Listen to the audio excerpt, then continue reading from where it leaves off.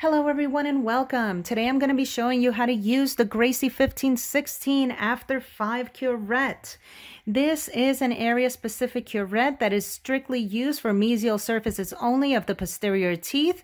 It is great for uh, periodontal uh, debridement uh, and scaling and root planing because it can go deep down into those hard to reach pockets.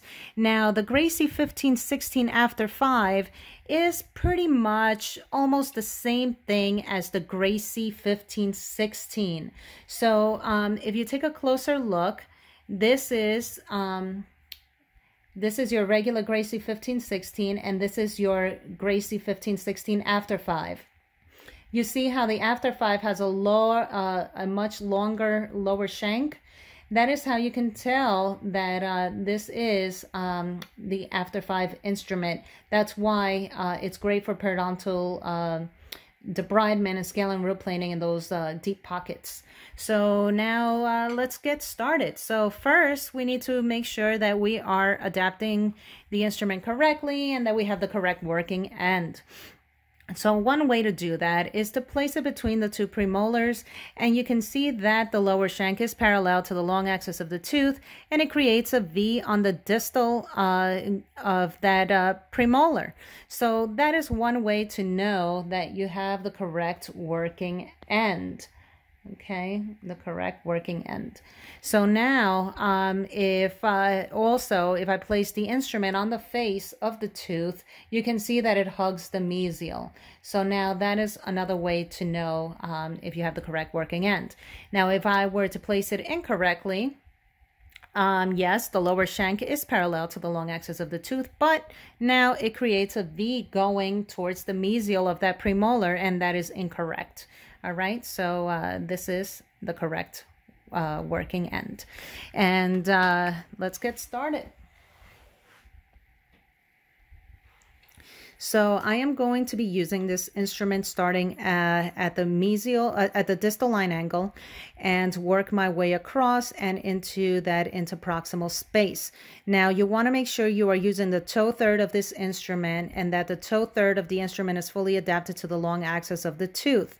And you want to start uh, by going into the distal line angle and activating the instrument across the buccal and rolling as you're going into that line angle and going all the way into approximately making sure you have the toe third fully adapted to the tooth and creating that 70 to 80 degree uh, for calculus removal. So you're rocking on your fulcrum. Again, I go, I dive into the pocket nice and smooth, stay subgingivally,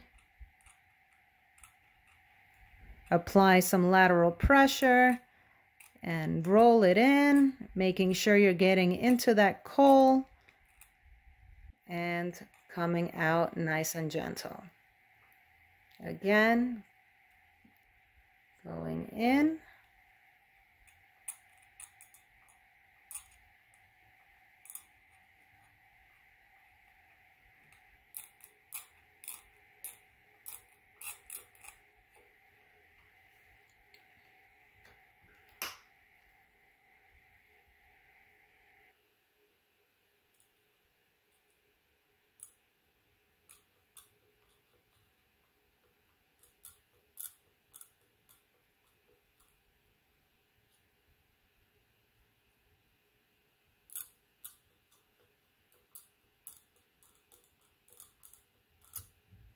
And that is how you use the Gracey 1516 after 5. If you like this video, please click like, share, and subscribe, and stay tuned for more.